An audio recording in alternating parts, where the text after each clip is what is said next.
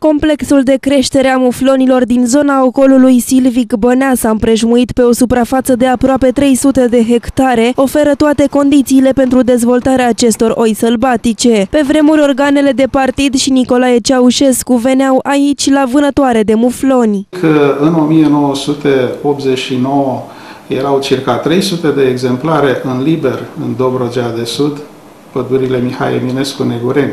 După Revoluție imediat au fost distruși de braconaj și de alți dăunători.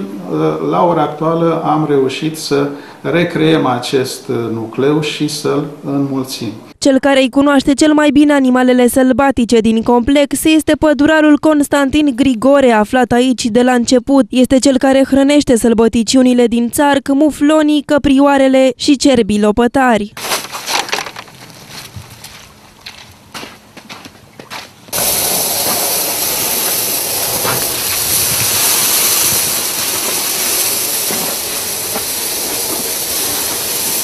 La 3-4 zile le alimentez. Nu lăsăm să termine. Și grămăți punem în fiecare zi, până cum să împuținează, aducem altul, să aibă tot timpul.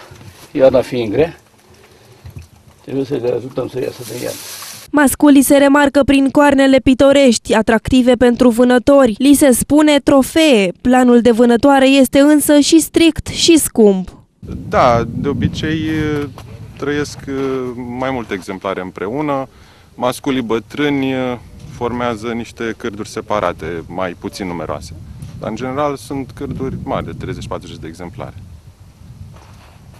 În punctele de hrană, animalele găsesc porumb, boabe, lucernă, furaj și borceag. E zăpadă și nu pot mânca de altundeva în pădure, iar muflonii sunt animale superioase. De regulă, vin tot vânătorii care au bani, care au posibilități financiare, pentru că pentru pușcarea unui muflon prețul pornește de la 600 de echivalentul în lei a 600 de euro și se oprește undeva la peste 2000 de euro. Cam cât sunt? În jur de 15 bucăți, 15-16 bucăți în nucleul la care plec.